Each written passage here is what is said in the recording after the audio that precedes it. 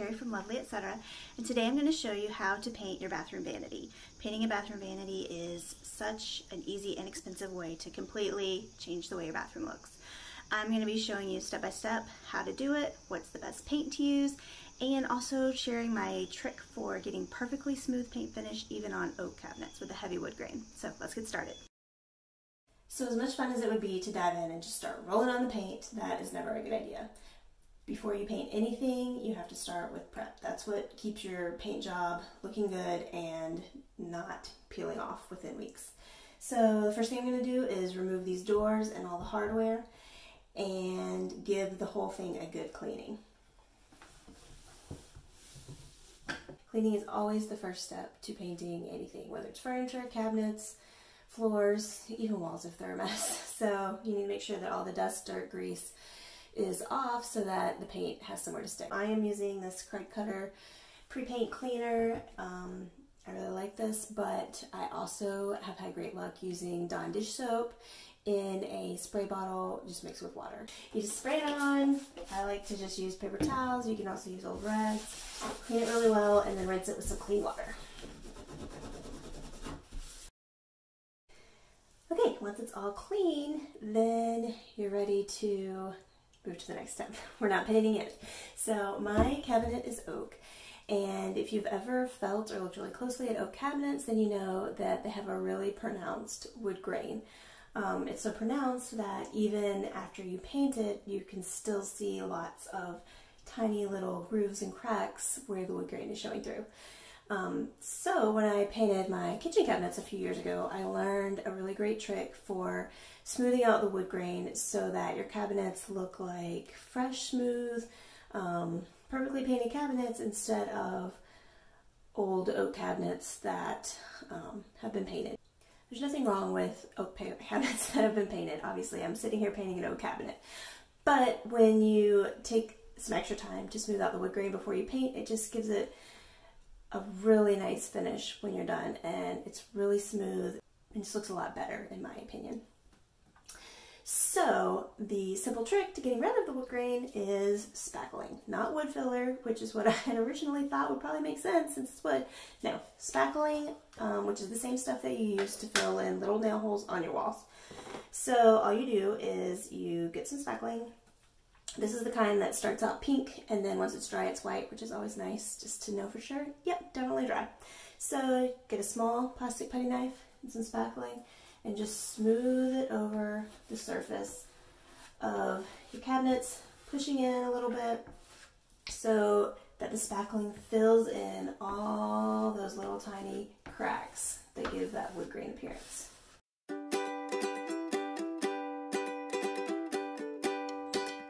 Okay, now that the spackling is dry, it is time to sand it smooth using 220 grit sandpaper. Once all the extra spackling is sanded off, you'll just see a very light layer, really just filling in all of that wood grain. Then you can just wipe off any excess dust with a dry paper towel. Okay, so these are my cabinet doors, and I am going to be replacing the hardware with different hardware.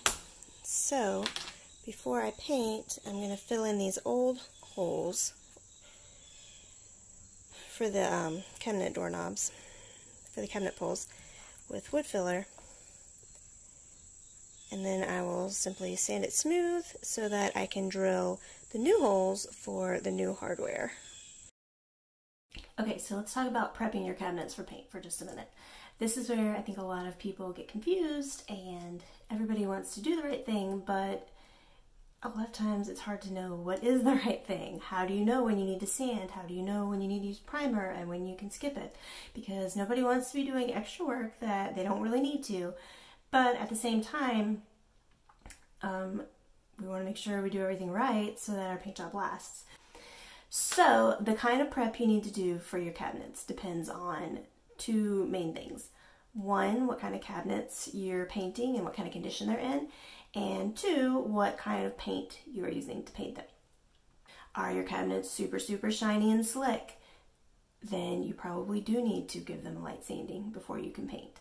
Are your cabinets really rough to the touch and they've seen better days? Again, a light sanding might be good to smooth them out.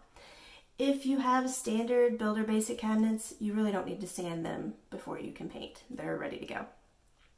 Primer, how do you know when you need to use it? Um, it can be really confusing.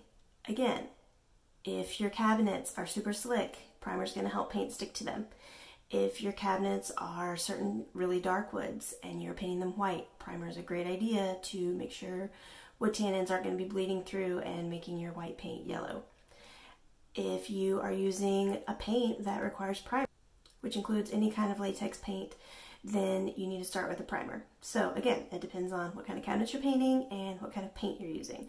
And I know it can be really confusing to figure all of that out for your specific situation, so I put together a free guide that walks you through the process of figuring out exactly what you need to do to prep your specific bathroom or kitchen cabinets for paint. And I'll put a link to that down in the description. And it's just a checklist. And when you answer the questions, it will help make it really clear what you need to do and what you can get by with skipping. For my cabinets, I am using General Finishes Milk Paint, which is one of my favorite furniture painting paints. It's also really good for cabinets and because of that and because I am have these oak um, Builder Basic cabinets, I can get away with skipping the primer. The paint that I'm using doesn't require primer and there's nothing about my cabinets that has a need for primer. I can also go without sanding because they're not super shiny or slick or anything. Um, so the only prep that you always have to do is cleaning. Even if it's brand new, you should still clean it because who knows what got on there from the factory. always clean. And then for my specific cabinet, I'm also have decided to do this spackle technique to get rid of the wood grain, but that's totally optional. Um, okay, so I am going to finish this and then we can finally get ready for the paint. I know a lot of people want to know if you can get a really smooth paint finish on cabinets without using a paint sprayer and you definitely can. I do have a paint sprayer and I've used it to paint various furniture, but I paint most of the things that I paint, including my kitchen cabinets, just using high quality paint brushes and good rollers. And that's what I'm going to be doing in here too. So I really like Purdy paintbrushes. I also have had good luck with these little um, small paintbrushes from Americana Decor. They're just give a really smooth finish. When it comes to paint rollers, I usually use small foam paint roller similar to this. These are usually um, labeled as being for cabinets and doors, sometimes for trim, and they will usually say they are for smooth surfaces. This is not any particular special brand, it's just off the shelf at the local store. And really, so far, I haven't found a lot of difference between the different brands.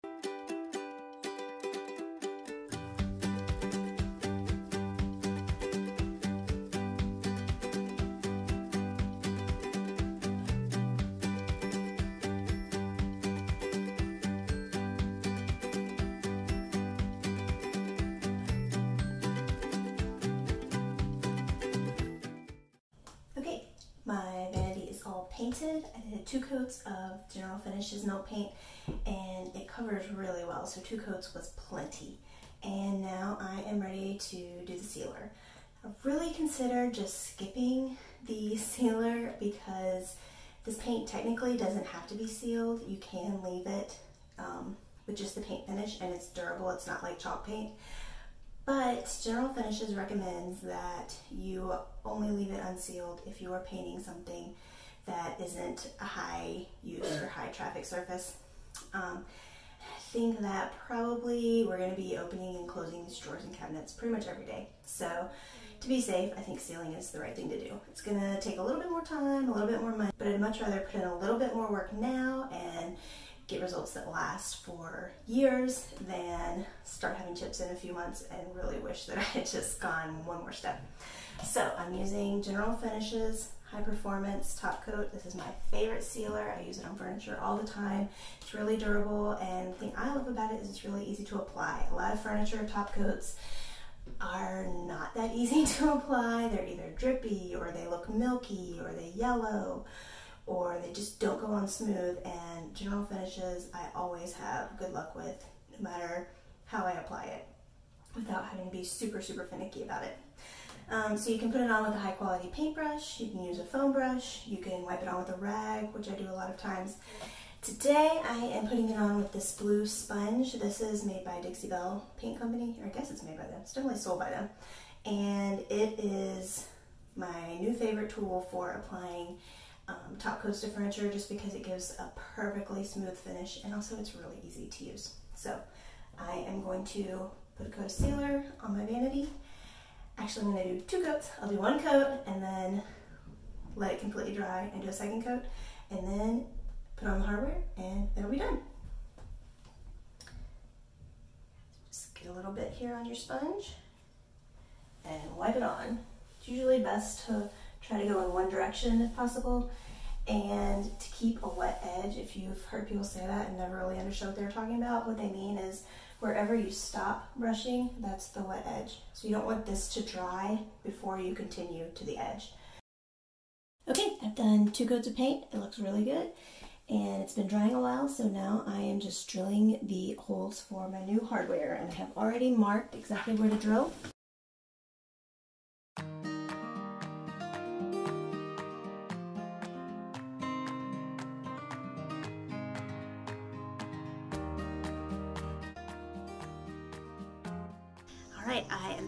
Happy with how my bathroom vanity turned out and I love the pink color. If you haven't, I would love for you to subscribe to me here at Lovely Etc. I share lots of inexpensive DIY projects and ideas for creating a home you love. And if you haven't seen it, make sure you check out my full reveal of my $100 bathroom makeover. It is absolutely crazy how big a difference you can make with just $100.